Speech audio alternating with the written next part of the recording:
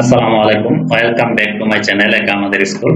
আজকে তোমাদের সাথে আলোচনা করব তৃতীয় প্রান্তিক মূল্যায়ন দুই হাজার চব্বিশ, শ্রেণি দ্বিতীয়, বিষয় প্রাথমিক বিজ্ঞান প্রশ্ন নিয়ে। ইতিপূর্বে তোমাদের সাথে আমি দ্বিতীয় প্রান্তিক মূল্যায়নের নমুনা প্রশ্নটি নিয়ে আলোচনা করেছি। আজকে তোমাদের সাথে যে প্রশ্নটি নিয়ে আলোচনা করতেছি, সেটি হচ্ছে আট নয় দুই হাজার চব্বিশে আমাদের স্কুলে যে দ্বিতীয় প্রান্তিক মূল্যায়ন পরীক্ষাটি অনুষ্ঠিত হয়েছে, সেই প্রশ্নটি তোমাদের সাথে শেয়ার করতেছি। এই প্রশ্নটি হচ্ছে দ্বিতীয় প্রান্তিক মূল্যায়নের সিলেবাস অনুযায়ী প্রশ্নটি করা। এই প্রশ্নটি প্রশ্নটি যদি ভালোভাবে তোমরা প্র্যাকটিস করো, তাহলে তোমাদের আশা করি অনেকগুলো প্রশ্ন একগুলো থেকে তোমাদের কমন থাকবে। এখানে দেখো, প্রথমে শূন্যস্থান পূরণ করো, যে কোনো দশটি, এখানে দশের অধিক শূন্যস্থান দেওয়া থাকবে, তোমাদেরকে এখানে দশটি শূন্যস্থান আনসার করতে হবে। এখানে দেখো পানির তীব্র অভাবকে ড্যাশ বলে, মানুষের শরীরে প্রায় দেড় শতাংশ পানি, পানির উচ্চকে ড্যাশ ভাগে ভাগ করা হয়। লাল রং করা নলকূপের পানি ড্যাশ বল প্রয়োগের বস্তু ড্যাশ পরিবর্তিত পরিবর্তন হয়। এরপর দেখো, চাপ মুক্ত করলে বাতাসের ড্যাশ বেড়ে যায়। টান ও ধাক্কাই হলো ড্যাশ প্রয়োগের দুটি উপায়। কোন বস্তুকে আঘাত করলে ড্যাশ তৈরি করা যায়। তাপের সাহায্যে আমরা বস্তুকে ড্যাশ করতে পারি। কোনো কিছু পুরালে আমরা ড্যাশ পাই। বরফ একটি ড্যাশ পদার্থ। চুম্বক সবসময় ড্যাশ সূক্ষ্ম করে রাখে। এরপর দেখো ড্যাশ লোহাকে কাছে টানে। এরপর সকল পদার্থের ড্যাশ আছে। তোমাদের এখানে শূন্যস্থান দেওয়া থাকবে। দশের অধিক এখানে তোমাদের দশটি আনসার করতে হবে। প্রত্যেকটির মান হচ্ছে দুই করে দশ দুগুণে বিশ নাম্বার। এরপর থাকবে তোমাদের সংক্ষেপে উত্তর দাও যে কোনো দশটি, এখানে দশের অধিক প্রশ্ন দেওয়া থাকবে এখানে দশটি আনসার করতে হবে দশ দুগুণে বিশ নাম্বার। যেমন প্রশ্নটি একটু দেখো যে কঠিন পদার্থের বৈশিষ্ট্য কি? তাপ দিলে পানি কিসে রূপান্তর হয়? একটি ভঙ্গুর পদার্থের নাম লেখো। আকৃতি কি?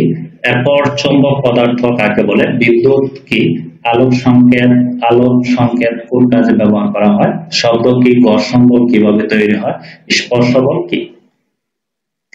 এরপর আমাদের থাকছে দেখো আহ, বস্তুর আকারে আহ, আকার বলতে কি বোঝায়? ভূপৃষ্ঠের পানি কি মানুষের তৈরি চারটি পানের উৎসের নাম লেখো। পানির উৎসকে কয় ভাগে ভাগ করা হয়? করা যায়।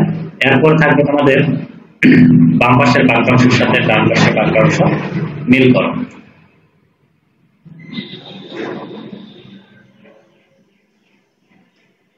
এরপর তোমাদের তিন রঙে থাকছে, বাম পাশের বাক্যাংশের সাথে ডান পাশের বাক্যাংশ মিল করে এখানে বারো নম্বর দেওয়া হবে। এখানে বাম পাশে কিছু বাক্যাংশ থাকবে এবং ডান পাশে কিছু বাক্যাংশ থাকবে। তোমার বাম পাশের বাক্যাংশের সাথে ডান পাশের বাক্যাংশগুলো মিল করতে হবে। এখানে এলোমেলো বাক্যাংশ দেওয়া থাকবে। এরপর দেখো, চার নামে থাকবে, নিচের প্রশ্নগুলো দাও যে কোনো ছয়টি, ছয়ের অধিক প্রশ্ন দেওয়া থাকবে তোমাদের। এখন থেকে ছয়টি প্রশ্নের আনসার করতে হবে। ছয়টা আটচল্লিশ।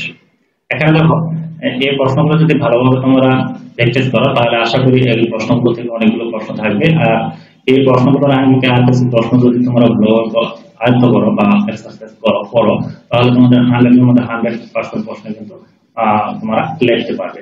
আশা করি এর জন্য তোমাদের সাথে তৃতীয় প্রান্তিক মূল্যায়নের যে অরিজিনাল প্রশ্নটি সিলেবাস অনুযায়ী যে প্রশ্নটি করা হয়েছে, সেই প্রশ্নটি তোমাদের সাথে শেয়ার করতেছি। এর আগে তোমাদের সাথে নমুনা প্রশ্নটি শেয়ার করেছি।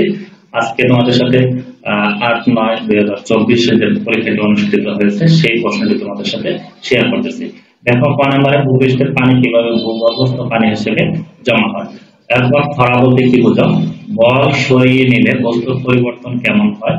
আলোক শক্তির তিনটি ব্যবহার লেখো। শক্তির পাঁচটি ব্যবহার লেখো। এরপর আছে তাপ শক্তির পাঁচটি ব্যবহার লেখো। চুম্বকের তিনটি বৈশিষ্ট্য লেখো। পানের তিনটি অবস্থা ব্যাখ্যা করো। এই ছিল তোমাদের যে তৃতীয় শ্রেণির প্রাথমিক বিজ্ঞান প্রশ্নটি, যেটি দ্বিতীয় প্রান্তিক মূল্যায়নের সিলেবাস অনুযায়ী যে প্রশ্নটি করা হয়েছে, আমাদের স্কুলে যেটি আট নয় দুই হাজার চব্বিশে পরীক্ষাটি অনুষ্ঠিত হয়েছে, সেই প্রশ্নটি তোমাদের সাথে শেয়ার করলাম। ভিডিওটি ভালো অবশ্যই একটি লাইক দেবা এবং তোমাদের বন্ধুদের সাথে শেয়ার করবা এবং কমেন্টে তোমার মতামত জানাবা। আর পরবর্তী সকল ভিডিও পাওয়ার জন্য অবশ্যই বেল আইকনটা অন করে যাতে ভিডিওগুলো দেওয়ার সাথে সাথে তোমার কাছে প্রথমেই নোটিফিকেশন চলে যায়। আজকের মতো ভিডিওটি এ পর্যন্ত ভালো থেকো সুস্থ থেকো।